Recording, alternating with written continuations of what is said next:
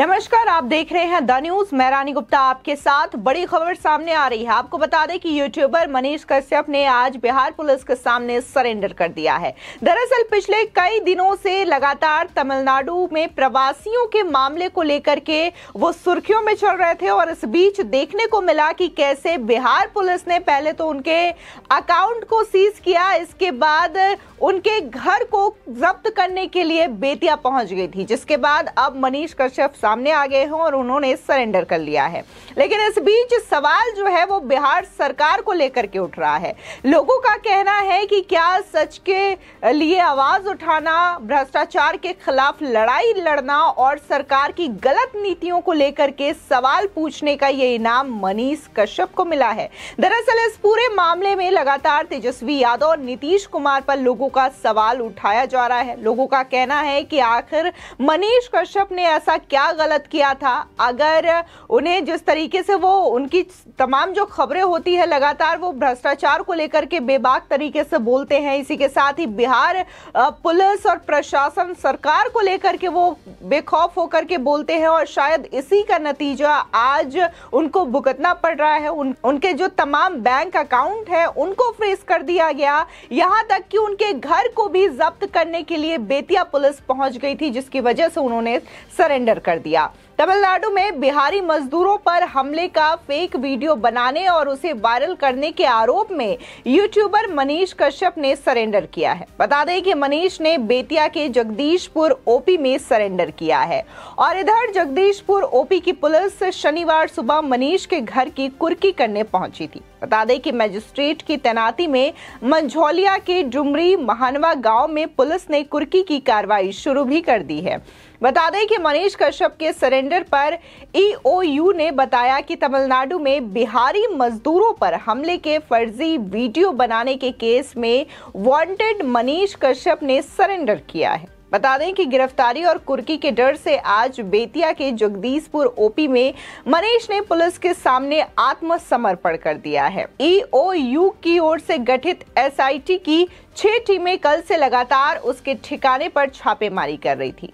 जिसके बाद शनिवार को मनीष कश्यप के मझौलिया थाने में घर पर कुर्की की गई है और इसके बाद उसने सरेंडर कर दिया है। बता दें कि मामले में मनीष कश्यप पर पटना में तीन एफआईआर दर्ज है। इसमें दो केस आर्थिक अपराध इकाई यानी कि ईओयू ने तमिलनाडु विवाद पर फेक वीडियो बनाने को लेकर दर्ज किया है। वहीं तीसरा केस अपनी झूठी गिरफ्तारी की बात वायरल करने को लेकर के केस दर्ज किया है।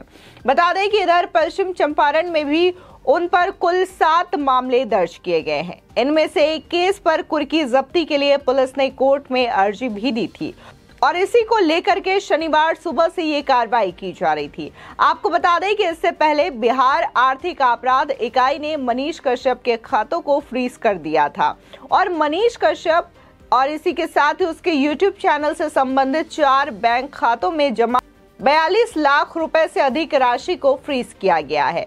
बता दें कि फेक वीडियो मामले में मनीष के खिलाफ वारंट जारी होने के बाद उसकी गिरफ्तारी के लिए पटना से लेकर के दिल्ली समेत अन्य शहरों में छापेमारी भी की गई है।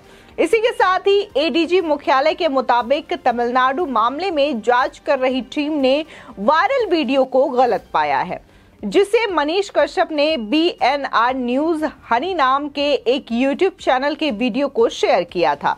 बता दें कि इस वीडियो में पट्टी बांधे गए दो युवकों, अनिल कुमार और आदित्य कुमार को मजदूर दिखाया गया है। और इस वीडियो को मनीष कश्यप के साथी और गोपालगंज के रहने वाले राकेश कुमार रंजन ने शूट किया और 6 मार्च को उसे अपलोड किया।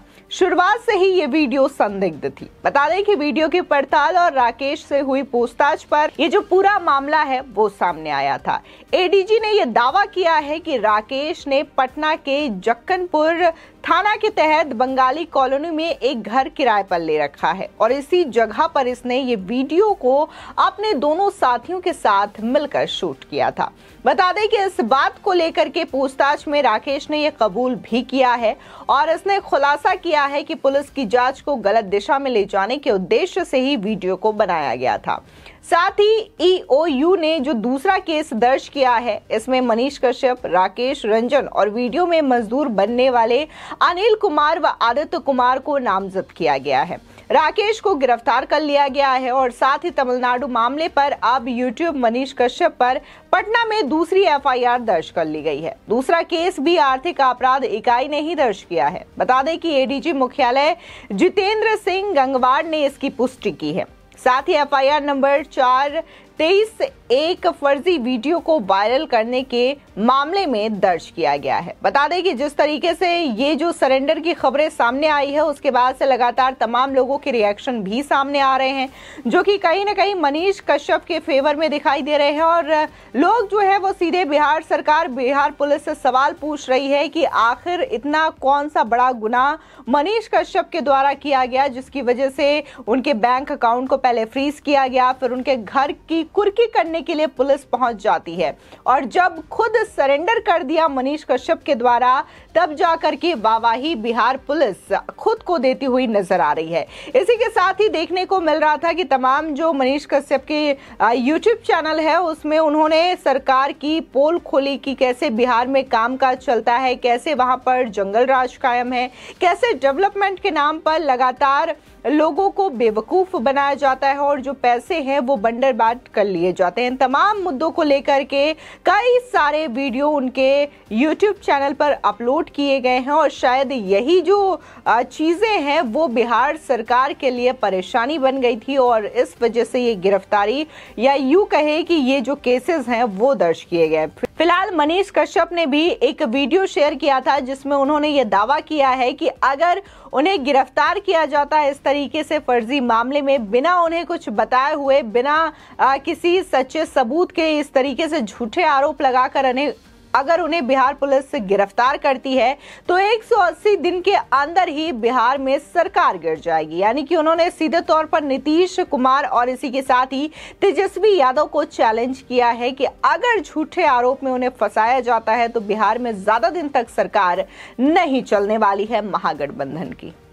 आपको बता दें कि मनीष कश्यप की जो इमेज है, वो कहीं ना कहीं एक राष्ट्रवादी पत्रकार के रूप में लोगों के सामने है और यहाँ पर कई लोग जो है, उनके समर्थन में लगातार ट्वीट करते हुए नज़र आ रहे हैं और इस वक्त ट्रेंडिंग पर ट्विटर पर मनीष कश्यप नाम जो है, वो ट्रेंड होता हुआ दिखाई दे रहा है। क्योंकि जिस तरीके से वो अपनी आवाज़ बुलंद करते थे, लगातार बेखौफ तरीके से निडर होकर के पत्रकारिता करते थे, ये लोगों को पसंद आती है ये चीज़ें और इस इस वजह से लोग जो है मनीष कश्यप का समर्थन करते हुए दिखाई दे रहे हैं और साथ ही बिहार सरकार से सवाल पूछ रहे हैं कि आखिर मनीष कश्यप को इस तरीके से रिप्रेजेंट क्यों किया जा रहा है? जैसे कि बिहार पुलिस ने किसी बड़े आतंकवादी को पकड़ लिया हो या फिर किसी बड़े साजिश का भांडा फोड़ कर दिया हो? फ़िलहाल जो आवाज़ है वो इसलिए उठ रही है क्योंकि मनीष कश्यप जो है, खासकर युवाओं से प्रेरित न्यूज़ बनाया करते थे, युवाओं से प्रेरित आवाज़ उठाया करते थे और यही चीज़ें शायद बिहार सरकार को पसंद नहीं आ रही है, क्योंकि